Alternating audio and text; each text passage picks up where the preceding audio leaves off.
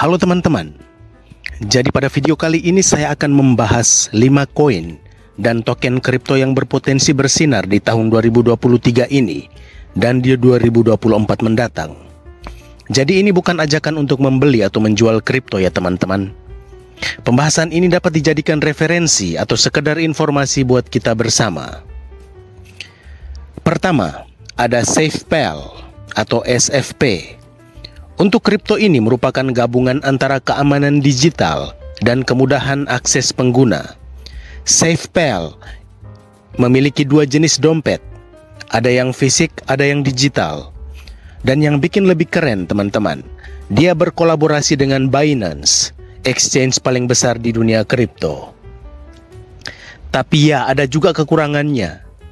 SafePal ini ada kompetisi sama penyedia dompet lain. Terus ada juga yang berpendapat kalau aplikasi SafePal ini agak terlalu terpusat. Tetapi secara keseluruhan, kalau mereka tambahkan jenis koin dan jangkauan ke pasar-pasar baru, sepertinya bakalan oke okay dan dapat bersaing dengan dompet-dompet besar lainnya. Terus yang kedua teman-teman, ada DexCheck atau DCK Adanya Check ini tampaknya sangat membantu buat orang-orang yang main di DEX atau Decentralized Exchange begitu teman-teman. Jadi toolsnya canggih. Dia kerjasama dengan Polygon dan KuCoin teman-teman. Dan hal positif lain dari Check ini, dia sudah bisa dipakai di 10 blockchain, termasuk Base, OPBNB, dan ZK-Sync. Tapi ya, pertumbuhannya mungkin lebih banyak bergantung sama kerjasama berikutnya. Dan dia masih dalam tahap stabilisasi harga. Mungkin juga karena pasar kripto memang selalu bergejolak. Karena itu tool dari DexCheck ini bisa terpengaruh teman-teman. Tapi kalau berhasil masuk ke 100 besar token berdasarkan kapitalisasi pasar, sepertinya Anda yang punya koleksi DexCheck bisa untung besar. Dan pastinya semakin dikembangkan, koin ini akan semakin oke di pasaran. Kita lanjut ke Loom Network atau LOOM. Ini sangat cocok buat para developer yang mau memanfaatkan potensi aplikasi terdesentralisasi. Dia berjalan di blockchain Ethereum, punya fitur keren macam platform as a service buat kembangkan aplikasi teman-teman. Ada kelebihannya, bisa berinteraksi sama off-chain APIs. Jadi bakal mempercepat transaksi. Tapi mungkin agak rumit buat yang biasa saja. Dan pastinya bersaing sama solusi layer 2 lainnya. Tapi dengan semakin populernya di apps, Loom bisa jadi punya komunitas developer yang lebih besar. Selanjutnya, Magic, M-A-G-I-C, Kripto ini memang dibuat khusus buat gaming dan metaverse. Jadi ini kayak mata uang jembatan buat tracer metaverse. Sejak 2021, Magic berkontribusi menghubungkan komunitas-komunitas gaming berbeda dengan Web3.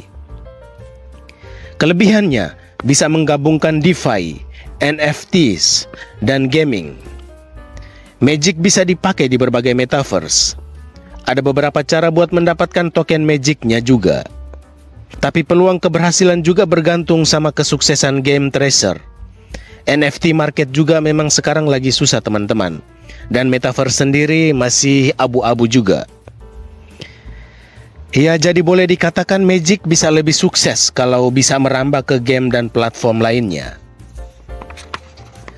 Kemudian terakhir teman-teman ada Telor, TRB, Nah, ini di dunia blockchain berfungsi sebagai protokol Oracle terdesentralisasi. Jadi bisa bantu transfer data off-chain ke smart contract on-chain dengan mulus. Kelebihan telur yaitu ada insentif buat yang benar-benar mensubmit data yang akurat. Ada partisipasi dari pelapor yang terbuka dan bisa dipakai di berbagai blockchain, teman-teman. Tapi tetap saja bisa ada resiko kalau datanya salah. Dan telur ini harus bersaing dengan solusi Oracle lainnya juga. Kalau telur bisa tambahkan layanan Oracle-nya ke blockchain baru dan kerjasama dengan proyek-proyek DeFi dan di apps besar, pasti bisa lebih sukses ke depannya teman-teman.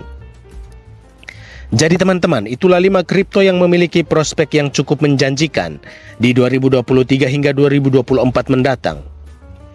Meski memiliki potensi, setiap kripto juga memiliki tantangan dan resiko seperti persaingan dan kekhawatiran sentralisasi.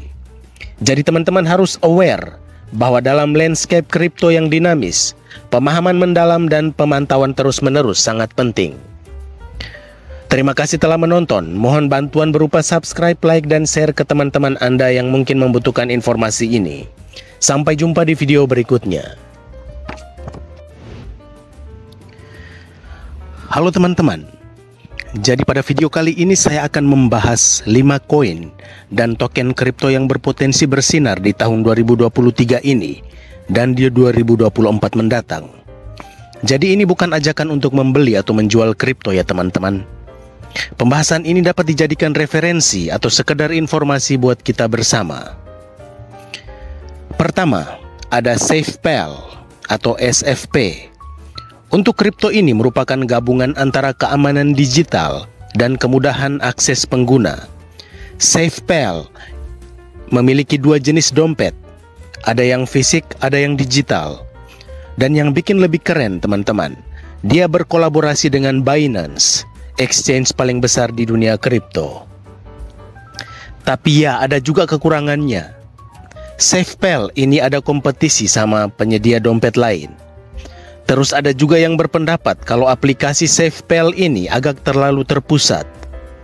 Tetapi secara keseluruhan, kalau mereka tambahkan jenis koin dan jangkauan ke pasar-pasar baru, sepertinya bakalan oke dan dapat bersaing dengan dompet-dompet besar lainnya. Terus yang kedua teman-teman, ada Dex Check atau DCK. Adanya Dex Check ini tampaknya sangat membantu buat orang-orang yang main di DEX atau Decentralized Exchange begitu teman-teman. Jadi toolsnya canggih. Dia kerjasama dengan Polygon dan KuCoin teman-teman. Dan hal positif lain dari Dex Check ini, dia sudah bisa dipakai di 10 blockchain, termasuk Base, OPBNB dan Sync. Tapi ya, pertumbuhannya mungkin lebih banyak bergantung sama kerjasama berikutnya. Dan dia masih dalam tahap stabilisasi harga. Mungkin juga karena pasar kripto memang selalu bergejolak. Karena itu tool dari DexCheck ini bisa terpengaruh teman-teman. Tapi kalau berhasil masuk ke 100 besar token berdasarkan kapitalisasi pasar, Sepertinya Anda yang punya koleksi desk checks bisa untung besar. Dan pastinya semakin dikembangkan, koin ini akan semakin oke okay di pasaran. Kita lanjut ke Loom Network atau LOOM. Ini sangat cocok buat para developer yang mau memanfaatkan potensi aplikasi terdesentralisasi. Dia berjalan di blockchain Ethereum punya fitur keren macam platform as a service buat kembangkan aplikasi teman-teman.